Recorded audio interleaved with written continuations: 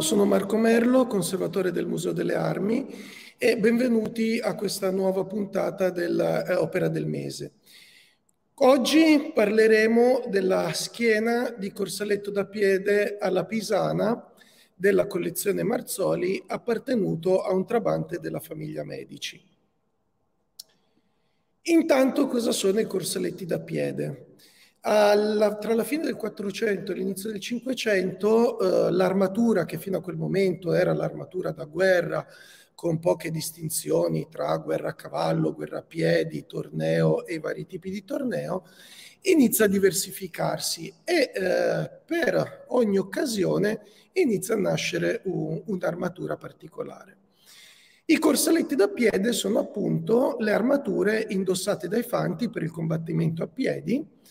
e eh, sono molto famose quelle dei lanzichenecchi, eh, di cui la collezione Marzoli ha una, una, buona rappresentanza, poiché Luigi Marzoli le aveva comprate, acquistate proprio per eh, confrontarle con la produzione dei corsaletti da piede bresciana, che è una tradizione lunga e molto famosa.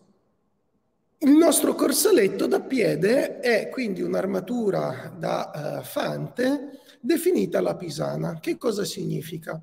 Premettiamo che è un termine convenzionale che identifica tutta una serie di armature che, che, che vedremo e il termine nasce nel 1873 quando il De Bellival, eh, trovandosi a schedare una collezione svizzera, trovò un gran numero di questa tipologia di armature e eh, una di queste allo scollo recava un globo, proprio come quello nella foto, un globo sormontato da croce con una lettera P all'interno. All'epoca, non avendo altri elementi per eh, collocare eh, questa tipologia di armature, che è piuttosto vasta e se ne conservano tantissime, pensò che potesse trattarsi di un arsenale eh, pisano. In realtà a Pisa non eh, si produssero mai armature, tantomeno ci fu un arsenale, tuttavia eh, la, il nome convenzionale di, di, Pisana rimane ed è tutt'oggi il nome con cui identifichiamo questo grandissimo nucleo di armature eh, di corsaletti da piede eh, con una decorazione simile eh, tra loro. Sono un prodotto eh, tipicamente bresciano. Come mai a Brescia mh, si iniziano a produrre questi, questa tipologia di armature, soprattutto i corsaletti da piede, all'inizio del Cinquecento? perché eh, a Brescia, proprio tra 4 e 500, eh, si inventa, eh, si, eh, viene costruito un nuovo tipo di altoforno che eh, viene appunto chiamato altoforno alla bresciana che permette di eh, ottimizzare il lavoro e quindi lavorare più velocemente in maniera migliore grandi quantità di metallo. Brescia fino a quel momento lì, quindi per tutto il Medioevo, eh, conosciamo una produzione di armature, di armi che però non sembra essere, almeno allo stato attuale degli studi nel Medioevo, superiore o comunque eh, ehm, che si distingue dalle altre città italiane, ha una produzione che è più o meno la stessa delle altre città, le cose iniziano a cambiare verso la fine del 400 quando alcuni eh, armorari, cioè produttori di armature milanesi, eh, decidono di spostare le loro botteghe a Brescia e nel giro di pochi anni appunto viene ideato questo forno che tuttora per indicarlo si, si dice alla bresciana eh, e quindi nacque proprio in quel momento lì una tradizione armiera che investì non solo le armature ma anche le armi bianche e soprattutto le armi da fuoco, ma che per eh, il settore delle armature eh, fu molto importante perché anziché eh, iniziare a produrre armature di lusso come eh, avveniva a Milano, i bresciani eh, si perfezionano appunto su modelli da fante, quindi eh, forniture numericamente eh, elevate. E eh, un documento recentemente scoperto da Bruno Barbiroli racconta proprio questa storia. Si tratta di due manoscritti del 1549 indirizzati al duca Ercole II d'Este. In pratica si tratta di una missione di spionaggio industriale in cui questo emissario del duca d'Este ehm, cerca di capire come fanno a Brescia a produrre così tanti corsaletti eh, in così poco tempo e di qualità così buona eh, viene fuori da, da, questa ricognizione che eh, a Brescia esiste già una lottizzazione del lavoro distribuita su più botteghe in cui ogni prodotto viene suddiviso e poi come un per intenderci, non, non prendiamola alla lettera, però un protosistema fordista, quasi una eh, catena di montaggio. I pezzi vengono portati ai vari eh, armorari per le lavorazioni di loro competenza, quindi eh, al maglio verrà fatto lo stampo, quindi ci sarà chi le livigherà, fino al decoratore e eh, ogni bottega è specializzata, chi eh, negli elmetti, chi nei petti, chi nelle schiene e via discorrendo. Quindi eh, il lavoro eh, emerge da questi documenti, era molto veloce perché in pratica a un'armatura singola non lavoravano meno di 4-6 eh, maestri. Ed è questo uno dei segreti dell'eccellenza mm, bresciana nella forgiatura di armi, ma soprattutto eh, di armatura. A Brescia, appunto, abbiamo detto, ci si, eh, ci si specializza nella uh, produzione di armature da fante, quindi meno lussuose delle armature da cavaliere, ma con forniture anche di 50-100 armature uh, alla volta.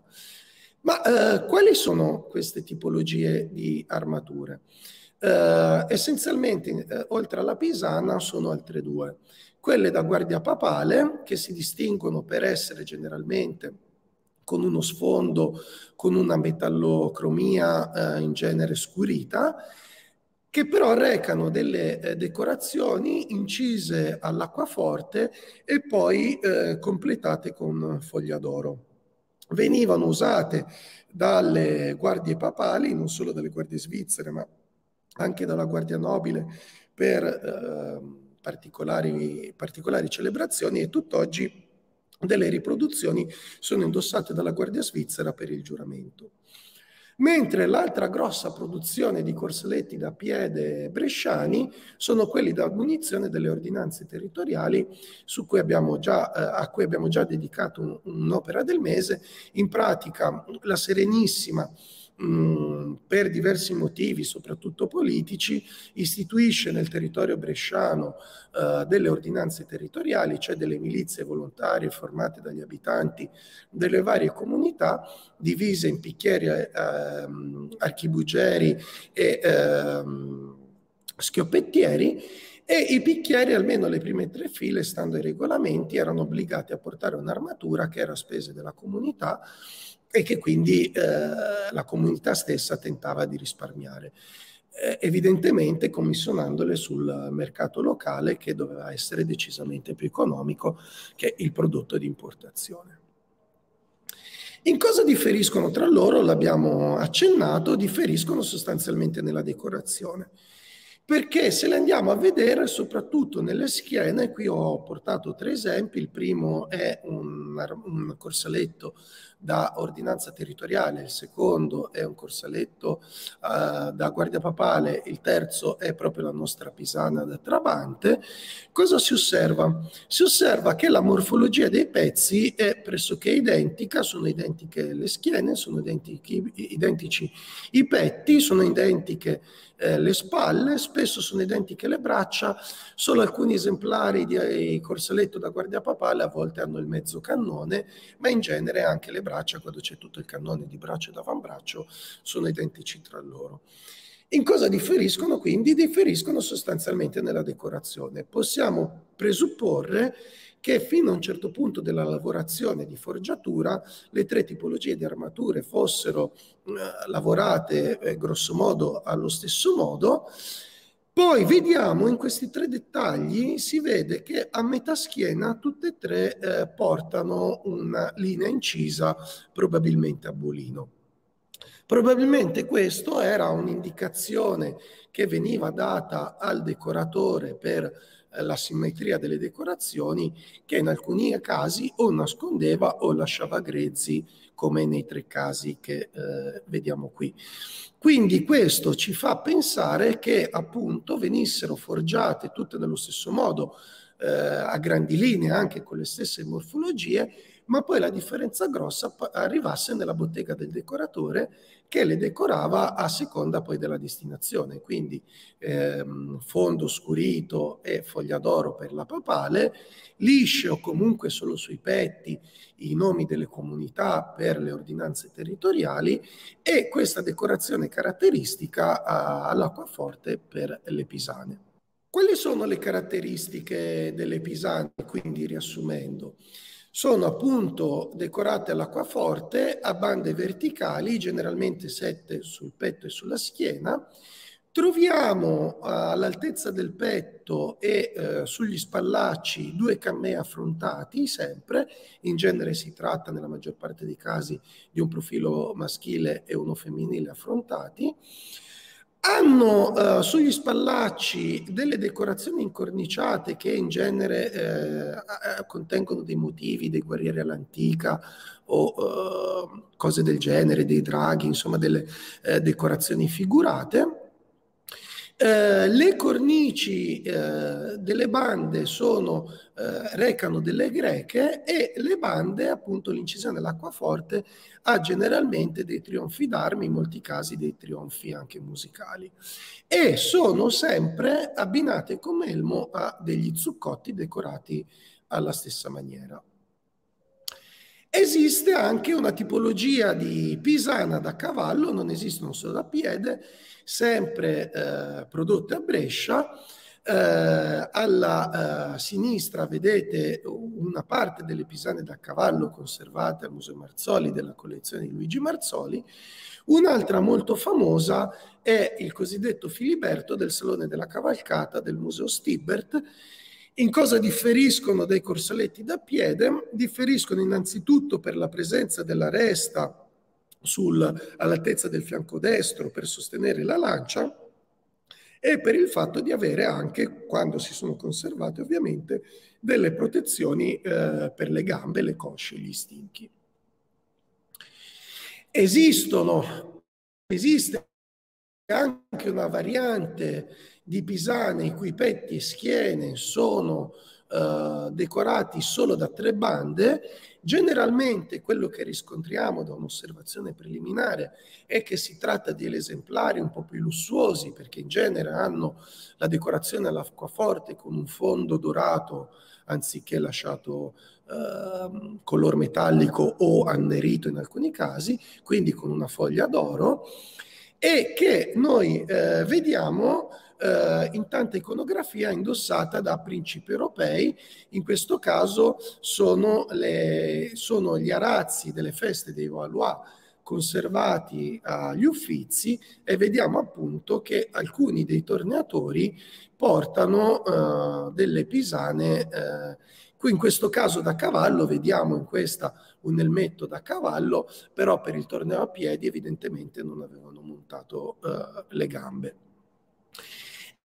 Esistono altre varianti di lusso, anche molto famose, ad esempio quelle di due, maestri, di due gran maestri dei Cavalieri di Malta, eh, uno è Jean-Jacques de Verdelain, eh, che ha la sua armatura ancora conservata alla valletta, vediamo una pisana di lusso con le tre bande anziché le sette, e l'altro è il Vignancourt eh, dipinto da Caravaggio e indossa proprio una pisana, eh, anche in questo caso come quella del, de Verdelin. Ehm, a tre bande ed è da cavallo, eh, quella del Vignancourt ha il fondo annerito con una eh, metallocromia eh, nera, non escludiamo che nemmeno l'altra in origine potesse averle, ma nel corso dei secoli, anche per motivi espositivi, questi fondi anneriti o comunque di colori diversi possono essere stati eh, modificati. Esiste anche una guarnitura alla Pisana conservata al Metropolitan di New York. Che cos'è una guarnitura? Abbiamo detto all'inizio che eh, all'inizio del Cinquecento eh, iniziano a nascere un'armatura per ogni occasione. Solamente che possedere un'armatura per ogni occasione potevano permetterselo solo pochissimi principi, in genere grandi principi, re o imperatori e nemmeno tutti i più importanti, i più ricchi. Quindi probabilmente in Lombardia, quasi sicuramente in Lombardia, probabilmente a Milano a Brescia, nasce la guarnitura, cioè su un'armatura eh, base si eh, forgiano degli elementi interscambiabili in modo tale da poter creare appunto da questa eh, armatura base un corsaletto da piede, un corsaletto da cavallo leggero, un'armatura da cavallo e addirittura eh, armature da torneo per i diversi tipi di torneo. Quindi tornei a piedi, tornei a cavallo, tornei eh, contro più avversari, tornei uno contro uno. E eh, per l'appunto l'unica guarnitura eh, alla pisana nota, quindi un oggetto assolutamente di lusso, è conservata al Metropolitan di New York e si tratta peraltro di un, elemento, di una pisana classica i cui petti hanno le sette eh, bandi verticali e non tre come quelle che riscontriamo in quelle maggiormente lussuose e ha eh, la decorazione su un fondo annerito, non, almeno autopticamente se non le aveva in passato non si scorgono eh, elementi eh, dorati e quindi è un altro pezzo che, la cui forgiatura è collocata a Brescia. Dicevamo appunto sono tutte prodotte a Brescia, eh, hanno queste decorazioni simili. Che cosa troviamo dentro le bande? Abbiamo detto trionfi d'armi.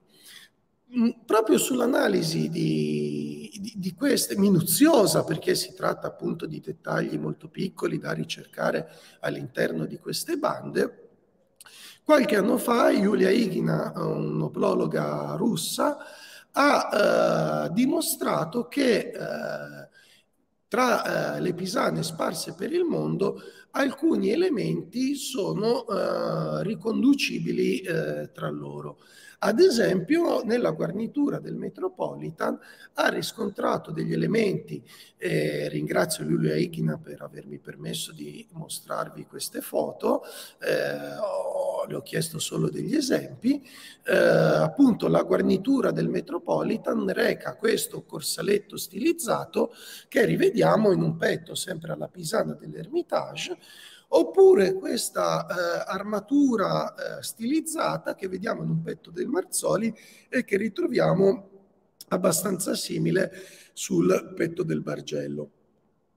Eh, in questa via Giulia Ighina, ed è eh, la teoria maggiormente condivisa in questo momento, dimostra che eh, probabilmente eh, dietro la mano, c'era la mano de, degli stessi incisori che ruotavano. Questo dato, unito alla recente scoperta di Bruno Barbiroli dei due documenti che vi ho illustrato poco fa, ci eh, porta a credere che davvero eh, i decoratori fossero un numero, certo numero di botteghe che non conosciamo ancora nel dettaglio e che appunto lavorassero eh, in una sorta di distribuzione del lavoro a gruppi, eh, petti, schiene e, e vari elementi che poi noi adesso possiamo su base stilistica riuscire a ritrovare nei pezzi eh, conservati in giro per il mondo. La produzione di Pisani in effetti è stata particolarmente ampia, mm, si conservano tutt'oggi un grandissimo numero di pisane o di pezzi di pisana ancora meglio, sparsi per le armerie e i musei di tutto il mondo, ma anche e soprattutto nelle collezioni private. In questo sistema di stemmi che, eh, e di simboli che vi dicevo poc'anzi, troviamo eh, alcuni simboli che in genere si ritrovano sotto lo scollo o eh, a volte un po' più spostati al centro del petto e allo stesso modo si possono ritrovare dietro la schiena più o meno negli stessi punti. Si tratta di simboli che eh, ritornano eh, ciclicamente tra loro, anche questi alcuni eh, indagati da Giulia Ighina, e eh, come si vede in effetti questo stemma della brigantina, cioè di questa eh, corazzina di, al di fuori di velluto e internamente metallica, stilizzata, la troviamo negli scogli di numerosi pezzi, eh, lo vediamo con un petto, un petto e due schiene dell'Ermitage, su un petto del Bargello, in realtà il Bargello se ne conserva un altro con lo stesso identico emblema, e eh, leggermente diversa un'altra brigantina ruotata nella Ehm, nella direzione opposta, quindi probabilmente un altro incisore, su un petto Marzoli, che vediamo anche su un altro corsaletto alla pisana, questa volta di lusso, vedete ha lo sfondo dorato e anche decorazioni decisamente più raffinate, ma che reca eh, lo stesso eh, marchio della brigantina. Uh, secondo me Giulia Ichina e um, la maggior parte degli oplologi in questo momento, questo è quasi sicuramente, almeno ci sentiamo di avanzare l'ipotesi molto seria, che possa trattarsi del simbolo della bottega o uh, dell'artigiano che incideva, quindi il simbolo dell'incisore. Perché come vi dicevo ne troviamo tanti e ne troviamo uguali a gruppi su armature sparse in giro per il mondo e uno dei temi più, più frequenti è appunto il castello, in particolare il castello sull'elefante. Si trova tantissimo, troviamo tante varianti di castello che indicano se non mani, botteghe differenti e quindi eh, più che di un maestro del castello, come spesso si trova nei cataloghi, si potrebbe parlare di maestri incisori del castello se mh, mm, un giorno soprattutto si riuscisse a ehm, mm, collegare queste armature ovviamente ai dei documenti d'archivio che potrebbero risolvere eh, tutti i dubbi che abbiamo in questo momento. Un altro simbolo che troviamo molto di frequente e che proprio eh, portò il De Bellival a eh, coniare il, il soprannome, direi più che nome, di Pisana è proprio il globo sormontato da, da croce che troviamo in numerose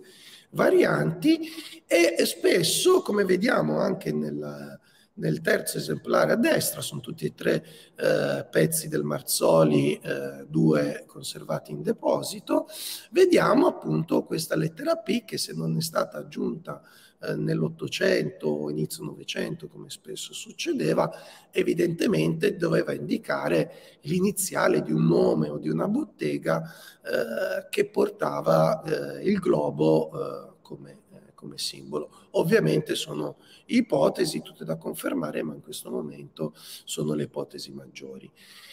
Un altro globo che troviamo, lo troviamo uh, almeno su tre esemplari, porta le, affiancato le lettere L e B. Uh, la fotografia è di un uh, petto molto importante conservato ed esposto al Museo Marzoli, proveniente proprio dalla collezione di Luigi Marzoli, che reca ormai a braso probabilmente per le puliture nei secoli, ancora quando era oggetto d'uso eh, queste decorazioni a brase, tra cui una Madonna col bambino, quindi un oggetto, anche questo del Marzoli, non proprio ordinario, insomma già di un certo gusto. Le altre due eh, marchi con globo LB molto simili, vi mostro il calco, ehm, si trovano su un corsaletto eh, della Reale Armeria di Madrid e su un corsaletto sempre da piede di, dell'Armeria Reale di Torino. Ora, questi due eh, esemplari sono intanto molto lussuosi perché eh, hanno tutte le decorazioni dorate e anche il, le bande sono decorate in maniera decisamente eh, raffinata, un, un, prodotto di altissimo artigianato. Eh, dall'altro lato l'esemplare eh, di Madrid era sicuramente da bambino perché appunto ha le dimensioni che possono andare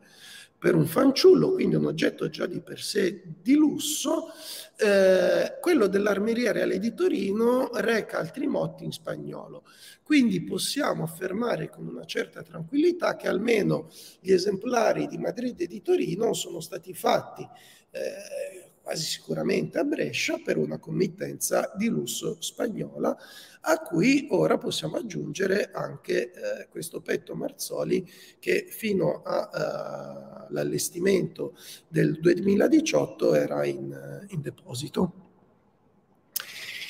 Adesso l'altra domanda da porsi è eh, le pisane, chi le portava? Insomma abbiamo visto questo uh, uh, complesso anche sistema di marchi, di simboli, di decorazioni, una lottizzazione del lavoro uh, direi concettualmente anche molto moderna, molto all'avanguardia, ma chi le commissionava? Intanto, eh, grazie alla pittura fiamminga,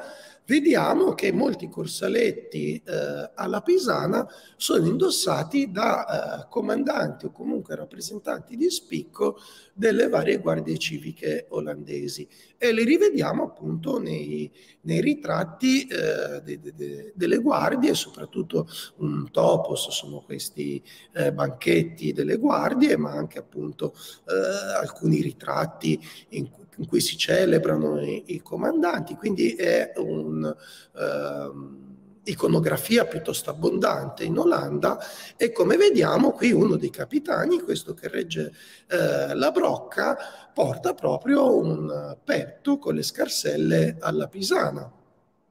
Vediamo in quest'altro eh, ritratto corale di eh, rappresentanti, di comandanti di una guardia civica, ehm, sono proprio gli ufficiali della bandiera degli Orange, della bandiera arancione, appunto, orangista. Ehm, non vediamo eh, proprio petti, schiene, ma vediamo eh, indossare proprio gli zuccotti, sono gli zuccotti alla pisana con le tipiche bande decorate eh, all'acquaforte. Ancora eh, vediamo altre guardie civiche olandesi, altri, altri ufficiali delle guardie civiche olandesi indossare chi il petto, chi addirittura petto scarselle, ma anche eh, spallacci e eh, cannoni eh, di braccio. Quindi eh, alcuni, una committenza era senz'altro quella delle guardie civiche olandesi. Eh, non abbiamo ancora isolato, non sono ancora stati trovati documenti che specifichino questo commercio, anche perché i documenti spesso sono molto ambigui, nei documenti delle vendite, soprattutto di questi grossi stock, si parla di armature da fante, spesso senza specificare oltre. Sicuramente quando troviamo armature da fante è altamente probabile che eh, fossero comprese anche queste, ma ovviamente non, non, ne abbiamo la certezza, possiamo solo ipotizzarlo. Un fatto curioso che accenno è che eh, tra Brescia e la produzione armiera olandese ci sono buoni contatti già per tutto il Cinquecento perché eh, a fronte delle canne, da, delle armi da fuoco eh, bresciane, in particolare le celeberrime canne eh, gardonesi esportate e imitate in tutto il mondo già in antico, le prime armi da fuoco bresciane montano delle piastre, dei meccanismi d'accensione in realtà olandesi. Quindi in qualche maniera sappiamo che eh, oltre ai contatti di varia natura c'era proprio un eh, filo diretto tra eh, l'Olanda e Brescia per quanto riguarda almeno la produzione di eh, armi da fuoco. Quindi è verosimile ipotizzare che in questo eh, via vai di, di, merci e nella fattispecie di armi fossero compresi anche questi corsaletti per cui appunto i bresciani erano famosi non solo in Italia ma in, almeno in tutta Europa. I eh, corsaletti conservati in Olanda eh, sono molto interessanti eh, perché alcuni di essi, contrariamente alla maggior parte di quelli italiani conservati in Italia, eh, recano alcune date che si aggirano tra il 1578 e il 1588. Un'altra data la ritroviamo su un'altra eh, pisana eh, conservata al Metropolitan di New York che reca 1571. Quindi possiamo ipotizzare che almeno quelle eh, acquistate per le guardie civiche olandesi ehm, siano prodotte proprio alla fine del Cinquecento, tra il 1578 e l'88. Comunque parliamo di un prodotto eh, che eh, viene forgiato verso la fine del Cinquecento e quindi lo ritroviamo ancora molto presente eh, e eh, usato ancora per tutti i primi decenni del, del Seicento. Chi, uh, altri personaggi, altre milizie che portavano uh, queste pisane erano i, i, Lanzi. Chi sono i Lanzi? I Lanzi erano la guardia del corpo uh, dei, eh, della famiglia Medici da quando Cosimo I diventa duca. Quando cadde l'attribuzione del, dell'Ibellivala a a questa fantomatica eh, arsenale di Pisa, in realtà eh, ancora fino agli anni Ottanta, ma eh, si trova anche in qualche passo di letteratura recente, poco aggiornata, si è continuato a tenere per buono il nome di Pisa perché su, eh, abbiamo detto, eh, armature alla pisana o parti di esse se ne conservano tantissime in tutto il mondo, abbiamo visto che molti simboli ritornano ciclicamente, alcuni di questi simboli che tornano in un sostanzioso nucleo di pisane su petti e schiene è proprio eh, l'arme medici, le palle medici, con la croce di Santo Stefano sormontati da eh, corona granducale e, in genere, la, come proprio nell'arme medici, la palla sommitale ha i tre gigli. Questo era stato interpretato come il simbolo dei Cavalieri di Santo Stefano, che in effetti, come eh, vedete nella fotografia, il simbolo di Palazzo della Carovana, sede storica dei Cavalieri di Santo Stefano, in effetti è, è, è molto simile, quindi può ricordare eh, il simbolo che troviamo eh, sulle Pisane. Ma eh, in anni recenti abbiamo iniziato a mettere in discussione questa attribuzione intanto per un'osservazione eh, legata alle armature, proprio filologica. Alla fine del Cinquecento eh, abbiamo visto che queste armature si possono iniziare a datare proprio in quegli anni lì, nascono anche i corsaletti da mare, cioè eh, armature per eh, combattere in mare. E la caratteristica di questi corsaletti è proprio eh, l'opposto di quella dei corsaletti da piede da fante cioè sono corsaletti un po' più stretti, in genere non hanno spallacci, non hanno, o comunque hanno delle braccia molto diverse, sono molto rari gli spallacci e le braccia di queste armature che si sono conservati, ma la caratteristica principale è appunto terminare con un elemento che non sono le scarselle a protezione delle cosce, ma in una mh, sorta di ventre, di grembiale, che eh, protegge proprio eh, le cosce e eh, la forbice eh, delle gambe, proprio perché per stare in equilibrio sulle navi bisogna stare a gambe divaricate e quindi è necessaria una protezione. Quindi il primo dubbio che abbiamo avuto è che morfologicamente queste pisane non hanno niente a che vedere con le armature da mare che appunto avrebbero dovuto portare i cavalieri di Santo Stefano essendo prevalentemente impegnati nella guerra di corsa contro i turchi nel Mediterraneo. Cosa abbiamo scoperto? E nel 2019 eh, con uh, due colleghi, Maurizio Alfaioli e Pasquale Focarila, abbiamo curato una mostra agli Uffizi, abbiamo scoperto che queste armature in realtà erano appunto uh, quelle uh, che il Granduca di Toscana commissionava per la sua guardia del corpo,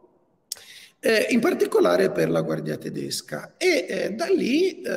vediamo che questa guardia del corpo è onnipresente in tutta l'iconografia fiorentina, laddove, fiorentina e toscana, laddove è rappresentato almeno un membro della famiglia granducale, vediamo in qualche punto del,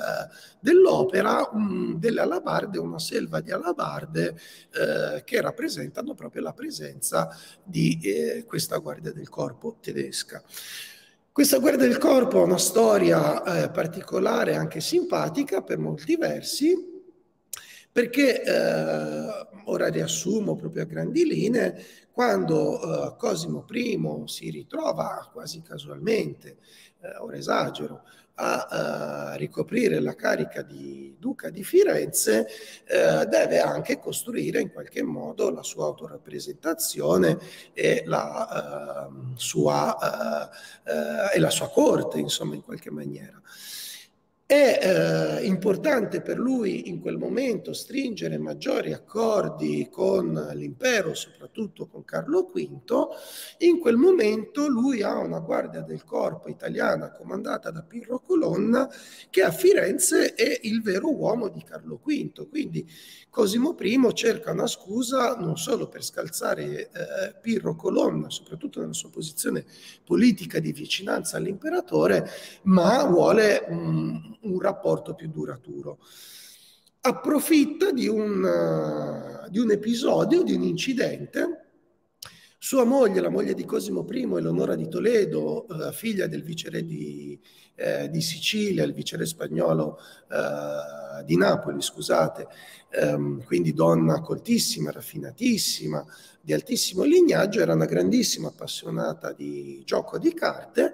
e in una notte eh, ovviamente scommettevano forte, giocavano d'azzardo e una sfida, una notte tra, lui, tra lei, che è una giocatrice abilissima, e Pirro Colonna vede quest'ultimo perdere malamente contro la duchessa e la duchessa circondata dai suoi nani, come vediamo anche in queste iconografie. I nani alla corte medicia erano molti e ricoprivano anche dei ruoli di importanza fondamentale. Il nano probabilmente che vedete nell'incisione di Stradano, la, uh, a, a, destra, in primo piano, è quasi sicuramente Morgante e Morgante era uno dei pochissimi uomini di fiducia di Cosimo I. Quindi i nani sono importanti e l'Onora di Toledo durante questa partita a carte è circondata dai suoi nani, Pirro Colonna che perde appunto, come dicevo, malamente in uno mm, scatto d'ira schiaffeggia uno dei suoi nani entrando in una situazione di impasse il suo rango non gli consente, non, non può chiedere scusa a, a una persona qualunque, eh, ancorché il nano della duchessa, dall'altra parte però schiaffeggiare una persona di fiducia della duchessa è esattamente come schiaffeggiare la duchessa. Quindi questa è la scusa che Cosimo usa per licenziare la guardia italiana di Pirro Colonna e chiedere all'imperatore una guardia del corpo tedesca. Si tratta di 100 alabardieri, tutti veterani di guerra, spesso eh, che portano a Firenze anche altri mestieri tipicamente tedeschi come tappezzieri, orologiai, eccetera. Quindi entrano nel vivo della eh, vita fiorentina, tanto che eh, la famosa loggia dei Lanzi si chiama così proprio perché da lì si accedeva al loro quartier generale ed era la loro postazione favorita quando la famiglia ducale e poi granducale si trovava in piazza della Signoria, quindi una sorta di quartiere generale. Eh, sono, furono istituiti appunto dal 1541 per essere poi dismessi nel 1738 con il primo Granduca di eh, eh, Casa Lorena. E eh, questi sono dei bellissimi disegni di Stefano della Bella che un po' come quelli di Stradano sono anche dei ritratti, tanto che alcune fisonomie ci sembrano ritro- ritornare in opere diverse, probabilmente perché, ad esempio, Stradano, essendo anche lui fiammingo, e molti di eh, questi lanzi erano tedeschi nel senso imperiale, quindi dal, dal Basso Tirolo, dall'Alto Adige, eh, dall'attuale Alto Adige fino a, all'attuale Olanda, ehm, eh, venivano arruolati appunto in questi territori e quindi avevano anche una loro chiesa, una loro taverna dove probabilmente parlavano la loro lingua. A Firenze abbiamo ritrovato e le loro canzoni da taverna e canzoni eh, dei fiorentini che imitano in qualche modo l'accento tedesco e prendono in giro questi, questi lanzi. Vengono chiamati lanzi proprio perché in dialetto fiorentino, in vernacolo fiorentino, lanzo è sinonimo di tedesco, insomma un po' il nostro eh, crucco attuale, non ha niente a che vedere con con i lanzichenecchi come termine. E eh, quindi hanno influenzato profondamente eh, la vita e la cultura cittadina in tutto il periodo eh, in cui sono stati in, in forza i Granduchi per poi essere dimenticati repentinamente con la comparsa dei Lorena e molto dalla storiografia risorgimentale ovviamente antitedesca. In realtà, come vediamo in gran parte delle iconografie, i lanzi come alabardieri operano nelle loro livree, che sappiamo essere di colori sfarzosi e sgargianti, ma in eh, rara iconografia, questa è una lunetta anonima, l'altro è invece eh, un dettaglio della festa degli omaggi, vediamo che erano proprio armati, indossavano in queste occasioni, indossavano eh, questi corsaletti alla pisana con tanto appunto di zuccotto e eh, di fatti la uh, produzione, le, le, i, i, le armature superstiti il numero più abbondante di armature alla Pisana superstiti è proprio conservata al Bargello, al Museo del Bargello di Firenze, che appunto raccoglie quello che è rimasto della grande armeria dinastica eh, e eh, della munizione della, della famiglia Medici. E in effetti al Bargello vediamo che eh, se mh, tutte recano la corona ducale, un esemplare, uno solo in tutto il mondo, almeno tra quelli che sono stati studiati sono noti agli studiosi, eh, solo uno reca ancora la corona eh, ducale, quindi precedente al 1569, l'anno di eh, incoronazione a Granduca di Cosimo I. Ciò significa che, eh, come dimostrato eh, in più occasioni Maurizio Arfaioli, i rapporti tra eh, la corte eh, dei medici, a partire proprio da, dal ducato, prima ancora del Granducato di Cosimo I, i rapporti con la Serenissima sono intensissimi, ma sono intensi soprattutto per Brescia, cioè ehm, nei documenti fiorentini la cancelleria fiorentina intrattiene eh, rapporti con la Serenissima solo per intercedere per gli approvvigionamenti di armi e eh, in questi grossi fondi fiorentini appunto studiati e analizzati a fondo da Maurizio Arfaioli anche nei rapporti con Brescia, eh, che sono molto intensi, ehm, troviamo tutta una serie di commissioni, non solo di commissioni di armi che vengono acquistate, e ne troviamo tantissime in questi anni di Corsaletti, e anche qui come per eh, quelli eh, che ritroviamo in Olanda, nei documenti si parla di armature da fante, di corsaletti genericamente, quindi è difficile dire che siano esattamente questi o quante siano realmente alla Pisana di fatto in questi, in questi nuclei dovevano esserci anche queste qui e sono appunto tantissime, ma sono anche tantissimi i rapporti eh, in cui il Granduca di Toscana, non solo Cosimo ma anche i suoi successori, chiedono alla Serenissima di proprio eh, in, avere in prestito, di avere per um, un numero di anni eh, limitato degli artigiani bresciani proprio per la forgiatura di armi. Qui un dettaglio interessante, dicevamo all'inizio, Brescia eh, emerge e sfonda nel mondo armiero internazionale soprattutto per la creazione di questi altiforni, i documenti toscani, soprattutto i più antichi, testimoniano in effetti che Cosimo I all'inizio non chiedeva tanto armaioli che facessero armi, eh, quando ne aveva bisogno, in effetti in quei primi anni le comprava direttamente a Brescia tramite procuratori, ma eh, chiede mh, mm, maestri di forgia che siano in grado di costruire e far funzionare gli altiforni alla bresciana. Quindi queste armature raccontano una storia, eh, queste armature della Guardia Medicia raccontano una storia veramente eh, europea con utilizzatori che vengono da tutto il mondo germanico, con una produzione che è tipicamente del nord Italia, in effetti poi per realtà non solo italiane, come appunto questa fiorentina, ma anche quelle olandesi e chissà andando, andando avanti con gli studi di quante altre guardie di palazzo, del corpo o municipali erano armate da eh, queste armature. Quindi la schiena nostra, la schiena della collezione Marzoli, oggetto appunto di eh, quest'opera del mese, è una delle schiene che fanno parte di, eh, delle armature dei trabanti o per dirla come i fiorentini dell'epoca, dei lanzi del Granduca. Quali sono le caratteristiche di queste armature? Sono anche qui per gruppi, sono due, tutte portano appunto la croce eh, dei Cavalieri di Santo Stefano con l'arme medici e la corona granducale, abbiamo visto solo una ducale, e però recano altri simboli cittadini. O un guerriero all'antica che rappresenta il dio Marte ed è sempre in posizione centrale, quindi eh, al centro del petto o della schiena, perché il dio Marte, eh, perché è l'antico protettore di Firenze, quindi un ulteriore modo di legarlo in questo modo anche in maniera anche piuttosto militaresca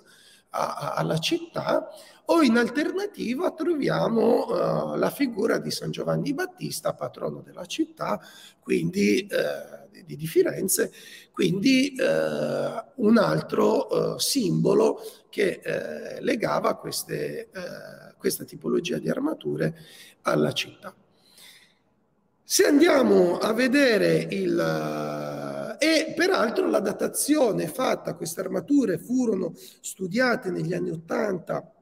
da Lionello Giorgio Boccia e José Godoy mettendo a confronto alcuni esemplari del Bargello con quelli del Museo d'Arte e Storia di, di Ginevra e altri esemplari a confronto. Eh, ancora loro non sapevano che erano sicuramente dei trabanti del Granduca, ma lo ipotizzavano. Oggi appunto, soprattutto dopo la mostra del 2019, eh, abbiamo anche una messa di documenti d'archivio davvero eh, impressionante da, da quanto è monumentale e eh, la datazione che fornivano proprio per la presenza della corona eh, ducale era proprio i primissimi anni del Granducato di Francesco I, quindi il successore di Cosimo I e soprattutto di Ferdinando I, suo Francesco I muore eh, prematuramente e gli succede il, il fratello minore eh, Ferdinando I, eh, che è poi in realtà Ferdinando I a creare una vera corte a Medici a Firenze e che quindi probabilmente userà molto di più dei suoi predecessori queste armature per la rappresentanza. Dai documenti proprio della Guardia Medicia sappiamo che erano obbligati a indossare questa l'armatura solo per particolari circostanze che erano eh, feste particolarmente solenni o visite di eh, personalità di estrema importanza come altri sovrani, monarchi o capi di Stato eh, per quanto riguarda in effetti le, mm, le, le, le entità statali come Venezia che non avevano un monarca. Quindi si datano convenzionalmente tra il 1585 e il 1595, cosa che abbiamo visto guardando le date su quelle olandesi è assolutamente verosimile, anzi eh, le datazioni sembrerebbero iniziare dal 71, ma addirittura eh, quello zuccotto con la corona ducale eh, potrebbe eh, far supporre che sia eh, una produzione, anzi le prime pisane siano state prodotte qualche decennio più avanti, ben prima del, degli anni 70 e 80. Il, in questa via il, la schiena del Marzoli, l'unica eh, che eh, reca un... Tra, eh, le tante pisane che conserviamo al Museo Marzoli, appunto la mission di Luigi Marzoli era proprio documentare il prodotto lombardo, nella, particolarmente quello bresciano, con grande intuizione perché eh, negli anni in cui Luigi Marzoli era vivo di tutto questo non si sapeva niente, anzi si collocavano tutte le armature generalmente a Milano, forse prendendole per lombarde o forse... Eh, iniziamo a sospettare che Luigi Marzoli avesse condotto studi molto più approfonditi di quelli che poi ha, ha, lasciato scritto, ma sicuramente anche i suoi pochi studi scritti sono di estrema avanguardia, anche con temi che sono stati sviluppati in anni recenti. Lui scriveva, eh, ho in mente un suo lavoro degli anni 30 dove fa uno studio lessicografico sulle armi e la lessicografia delle armi è stata ripresa eh, non più di dieci anni fa, quindi i suoi studi probabilmente all'avanguardia lo avevano portato a identificare probabilmente questi prodotti e ipotizzare che questi prodotti più che eh, milanesi potessero essere eh, bresciani. Quindi ne acquista tantissimi, vi dicevo c'è una sovrabbondanza, c'era, eh, c'è ancora una sovrabbondanza di questi oggetti anche sul mercato antiquario e quindi ne acquista tantissimi e questo è l'unico appunto eh, afferibile alla eh, Guardia Medicia proprio per la presenza del ehm, dell'arme eh, medici, delle palle medici, in questo caso però non sormontate né dalla corona granducale né dalla croce di Santo Stefano che probabilmente erano sul petto e sullo zuccotto. Infatti, nelle, in quelle eh, che conosciamo organiche, cioè eh, con tutti i pezzi suoi originali conservati, sappiamo che i simboli erano sul petto, erano sulla schiena, raramente su tutte e due. Quindi, eh, probabilmente in questo caso eh, il resto della, de, dei simboli erano uh, sul petto, comunque sul davanti, e dietro rimaneva solo l'arme medici. La cornice ci lascia pensare a uno dei prodotti più tardi, soprattutto la presenza non di due guerriere all'antica, ma di due cherubini alati con tanto di arco, ci fanno pensare più a una produzione ancora un po' più tarda, eh, databile a proprio gli anni 90 del 500, se non addirittura proprio agli ultimissimi anni, se non al primo anno del, del 1600. Quindi eh, non solo è un pezzo che testimonia la fortuna eh, della produzione armiera, in questo caso della produzione di armature bresciane in Italia e nel mondo, ma è anche un pezzo molto importante per eh, la storia dei rapporti tra Brescia e le grandi corti rinascimentali europee, nella fattispecie, eh, in questo caso Firenze. Che fine hanno fatto queste pisane? Appunto, ho detto più volte anche prima che sul mercato antiquario se ne trova un'abbondanza eh, particolare. Come mai?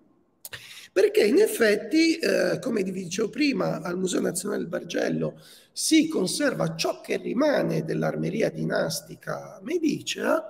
Eh, questo perché? Perché eh, Pietro Leopoldo, il secondo Granduca di Casa Lorena, decise di eh, fare spazio agli uffizi, la grande armeria eh, fiorentina si trovava proprio nelle gallerie del corridore degli Uffizi, eh, dove oggi c'è la quadreria, anzi se vi capiterà di visitare e alzare gli occhi al soffitto troverete proprio gli affreschi delle guerre fiorentine e soprattutto vedrete rappresentate tutte le diverse botteghe armiere, proprio perché tradizionalmente quegli ambienti lì erano gli ambienti dell'armeria e di alcuni armaioli che lavoravano lì. E Pietro Leopoldo a fare spazio fa una prima vendita da cui rimane ancora tantissima roba. Nel 1780 decide di vendere eh, tutto il rimanente e per sua iniziativa personale e lo vende al prezzo di ferro vecchio a 6 soldi al libra. Quindi diventa per, non solo per i, i, chi aveva già il gusto antiquario come molti collezionisti o molti pittori inglesi che addirittura si fanno fare delle prevendite per acquistare le armi medice che poi ritroviamo in diversi quadri del Settecento inglese ma eh, ha un'attrattiva fortissima anche per tutti i fabbri cittadini, perché per l'epoca eh, sei soldi al libra per del ferro di alta qualità era veramente, eh, diremmo oggi, regalato. Quindi accorrono tutti i fabbri della città, tra cui alcuni fabbri che qualche anno dopo verranno chiamati a rifare mh, gli arredi, in particolare eh, gli armadietti della Misericordia di Firenze, del grande istituto di carità eh, fiorentino, eh, li rifanno e le serrature con cosa le rifanno? Proprio appiattendo pezzi di queste, tagliando, appiattendo, come si vede in queste fotografie, ehm, pezzi di, eh, eh, di queste pisane e eh, avvitandole appunto agli armadietti. Questa anche è una scoperta recente fatta da qualche anno fa dal restauratore Primo Biagioni, restauratore della Misericordia di Firenze, che eh, soprattutto Ligno, che smontando questi armadietti si è trovato questi oggetti misteriosi e abbiamo subito riconosciuti che sono proprio parte delle pisane. Vedete uno reca ancora eh, tracce di un guerriero all'antica proprio nella serratura e nell'altro invece si vedono chiaramente le liste decorate a bulino con le caratteristiche cornici a, a greche. Finita appunto la stagione della Guardia Medicea eh, e anche delle guardie olandesi, a inizio Ottocento eh, tutte queste eh, armature vanno sul mercato antiquario e ci rimangono per tantissimi anni fino anche appunto all'epoca in cui Luigi Marzoli tra gli anni 30 e eh, gli anni 70 metteva in piedi la sua importantissima e grandissima collezione di armi antiche ripeto, soprattutto lombarda, in particolar modo bresciana, e riuscì a eh, acquistare una grandissima rappresentanza di queste armature, di cui appunto quella da Trabante della Guardia Medicea eh, è una delle più significative proprio perché possiamo rintracciarne tutta la storia complessa e affascinante. Con questo concludo e eh, appena sarà possibile vi invitiamo al Museo delle Armi Luigi Marzoli a eh, passeggiare soprattutto nel Salone della Cavalcata dove si vedono, sono esposte un gran numero di pisane montate sui manichini ma anche di frammenti di pisane e abbiamo appunto le pisane classiche che eh, eh, abbiamo illustrato quest'oggi assieme alle pisane di lusso, alle pisane da cavallo e anche altre, eh, agli altri corsaletti da piede tipicamente bresciani come quelli da guardia papale e quelli delle ordinanze territoriali. Alla prossima opera del mese.